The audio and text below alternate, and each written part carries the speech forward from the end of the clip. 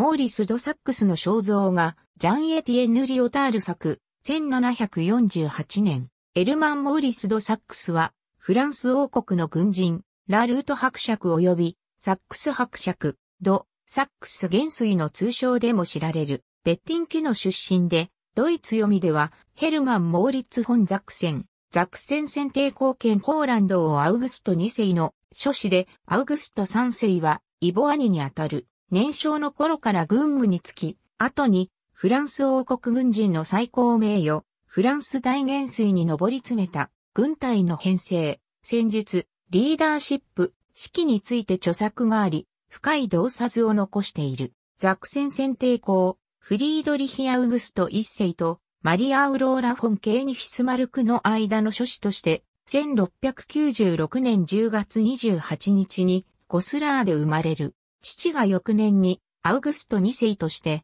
ポーランド王に即位すると母によって1698年にワルシャーにいる父のもとに送られたがポーランドが不安定だったためモーリスは幼少期からポーランド国外で過ごした父と引き離されて育てられたことは後にモーリスに大きな影響を与えた。12歳でオイゲン・フォン・ザボイエンの軍に入隊してスペイン継承戦争に参加。翌年のトゥルネー包囲戦、モンス包囲戦、マルプラケの戦いに参戦して軍港を挙げた。1709年の戦役が終わると、モーリスをブリュッセルのイエズス会学校に入学させる提案がなされたが、母が反対したため入学せず、1710年初には再び同盟軍で勇猛に戦ったが、オイゲンからは軽率と勇敢をしっかり分別するようになだめられた。その後は大北方戦争中のピョートル一世の軍勢に入隊して、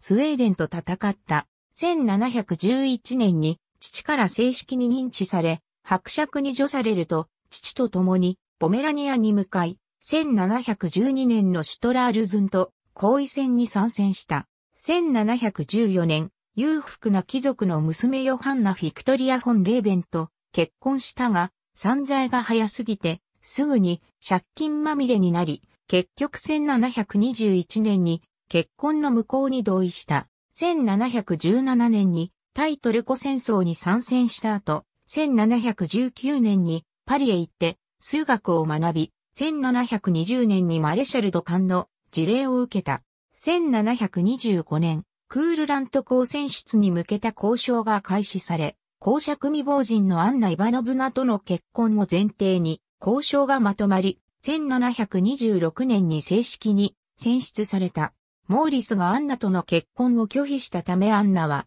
モーリスの選出に反対することとなったが、モーリスは、フランスの女優、アドリエンヌ・ルクブルールから借りた3万ポンドで軍を編成、1727年までクールラントに陣取った。その後は撤退してパリに戻った。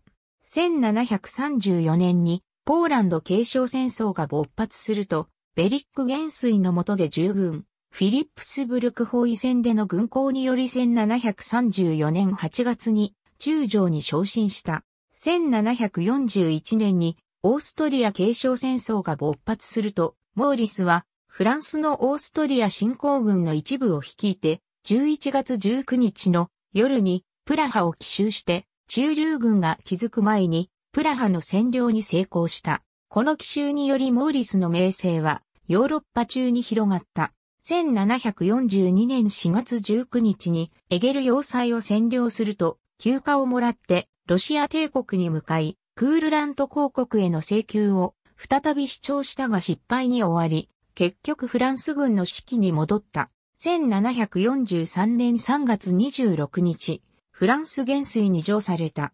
1744年、チャールズ・エドワード・スチュワートをイギリス王位に戻すためのイギリス本土侵攻軍を率いる予定だったが、ダンケルクに集結した軍勢は、その後出発できなかった。続いて、ネーデルラントに転戦、トゥルネーを包囲した後、救援にやってきた、カンバーランド公ウィリアム・オーガスタスを、フォントノワの戦いで撃破した。この功績により、フランス王ルイ15世は、モーリスの一代限りで、シャンボール城を与え、1746年4月には、フランスに帰化させた。ネーデルラントの戦役は続き、モーリスは1746年のロクールの戦いと1747年のラウフフェルトの戦いにも勝利した。さらに、レーベンタール伯爵に命じて、ベルヘン、オプゾームを陥落させた。モーリスの最後の戦闘は1748年のマーストリヒト包囲戦であり、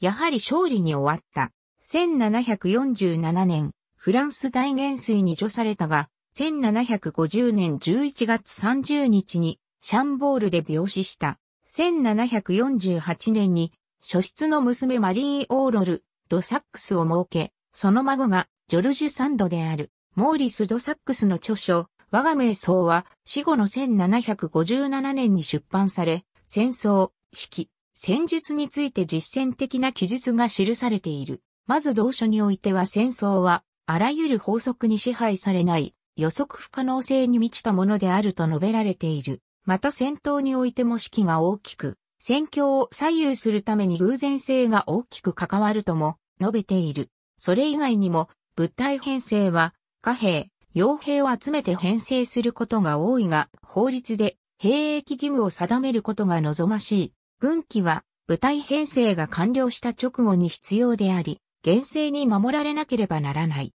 また軍服や帽子、ゲートルは実戦に不向きである。訓練は兵士に戦闘準備をさせて、連度を上げるために必要であり、その基礎は脚力にある。ドラムがあれば行軍が整然と統制することができる。正確で迅速な前進は敵の士気を阻害する。戦闘が長引くと火力攻撃は有効ではなく、弱い一回の一斉射撃と白兵戦を併用することとしたなどの実践を想定した記述が記されている。ただし、我が瞑想は、トーマス・カーライルからは、軍事に関するおかしい寄せ集めであり、アヘンの影響下で書かれたと思われると酷評された。また、1794年にレトライ・メムオー・シュワジーが出版されたが、ストラスブールで保存された手紙は、不仏戦争中のストラスブール包囲戦で砲撃により消失した。ありがとうございます。